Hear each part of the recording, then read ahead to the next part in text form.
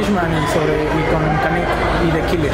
Mira, ellos se hacen llamar que los Juniors, los asesinos, los quién sabe cómo. Pero ya quedó demostrado en la Arena San Juan, en donde sea, en esa, en donde quieran, les vamos a dar con todo. La Clown Corp está hecha para eso y más. Y van por sus campeonatos.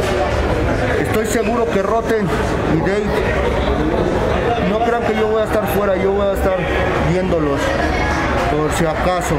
Pero creo que ellos van a dar mucho de qué hablar para que vean que la Clown Corp es grande.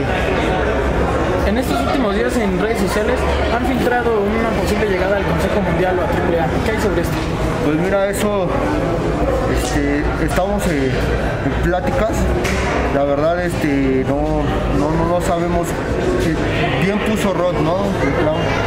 Una disyuntiva, ¿no? Porque no, la verdad no se sabe qué le, qué le depara la Clown Corp, ¿no? O sea, ahorita estamos indecisos y pues queremos ver, ver oportunidades y ver opciones, ¿no? Porque pues ya demostró la Clan que a nivel este independiente pues ya no, ya no hay rivales, ¿no?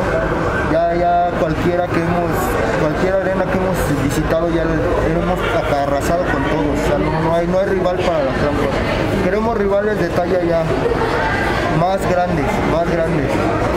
Felino, Porky, por decir en el caso del Consejo.